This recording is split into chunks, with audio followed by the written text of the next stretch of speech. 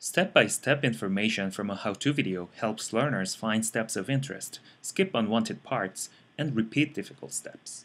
We introduced Toolscape, a video player that displays step-by-step information and intermediate result thumbnails in the timeline.